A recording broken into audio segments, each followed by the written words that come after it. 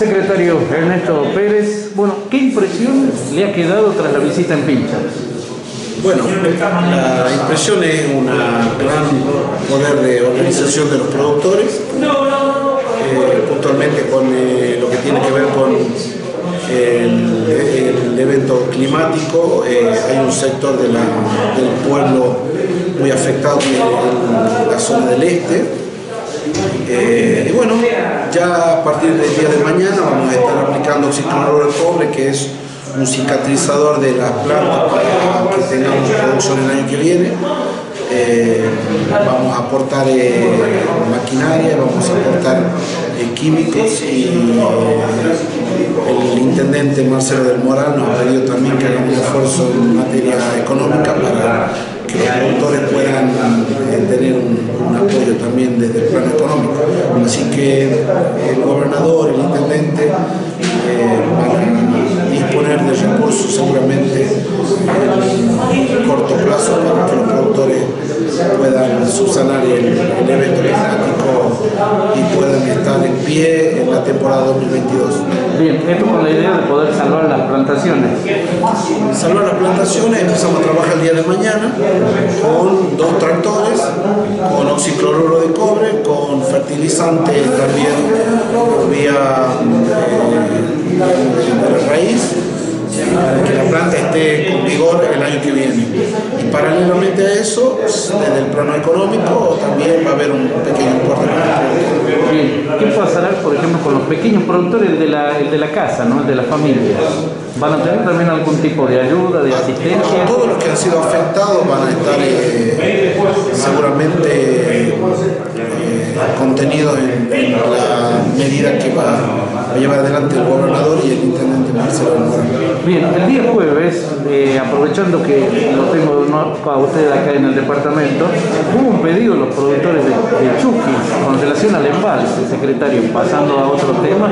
¿Cómo debe eh, prepararse el productor para aprovechar, en el buen sentido de la palabra, la presencia de un costeño en un área tan importante?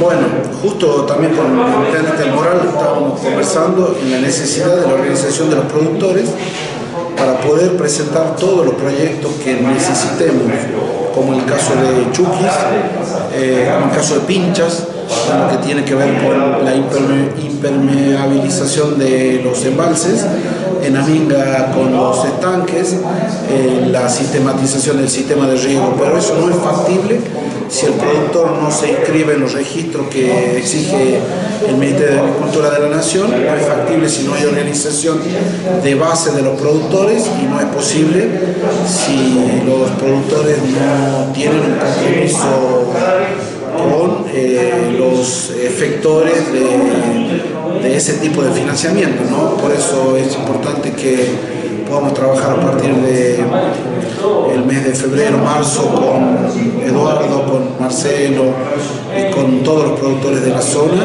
para poder presentar los proyectos en el mediano plazo, hablemos de mayo, julio como más tardar para que podamos empezar a sistematizar y a trabajar en el riego de goteo del sector tradicional. Paralelamente a eso estamos trabajando en la posibilidad o la, prospección de poder tener un espacio de colonia en el departamento Castro Barrio que para nosotros sería revolucionario e histórico.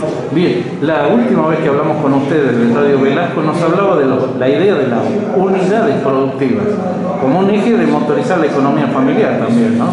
Exactamente, en, materia de huertas familiares, huerta vuelve a iniciar el proceso de otoño-invierno a partir del mes de marzo eh, y eso tiene que ver con otro segmento, ¿no? Estuvimos hablando con el segmento de los pequeños y medianos productores eh, de producción de hogar o de fruticultura, está el, productor familiar o, periurbano eh, y el comercial. O sea, la idea es trabajar en toda la agenda productiva aquí en la costa y, como usted dijo, ¿no?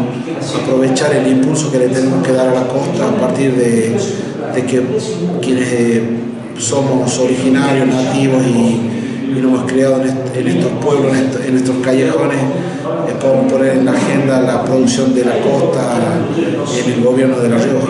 Bien, bien. ¿Qué, dos para terminar. La primera, el productor, ¿dónde debe anotarse? ¿Dónde debe registrarse? Por ahora estamos trabajando aquí junto a Marcelo en el municipio. Eh, también hay otros eh, dirigentes como concejales y personas que nos, nos a nosotros, pero la idea es poder abrir, una agronomía de zona en Castro Barro también, que nos permita tener un contacto directo con los productores eh, y trabajar de manera mancomunada con la dirigencia en general, ¿no?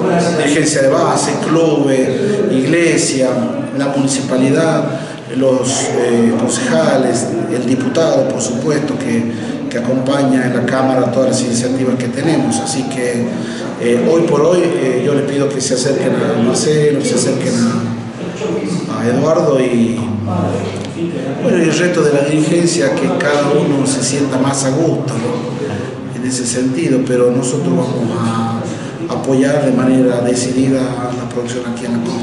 La última, un anhelo, un sueño, un deseo, como José.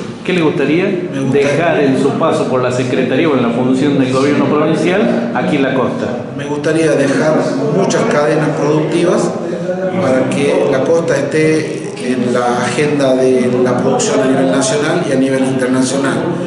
El anhelo más importante es el que tenemos todos los costeños y que Raúl eh, Chacón, que es riojano pero que es costeño por adopción, eh, Marcelo y, hemos podido conversar con el gobernador de tener una colonia productiva en el este del departamento y poder, eh, como te digo, sacar muchos contenedores de, producción y de fruta de, aquí de la costa. Es el anhelo más importante que tenemos.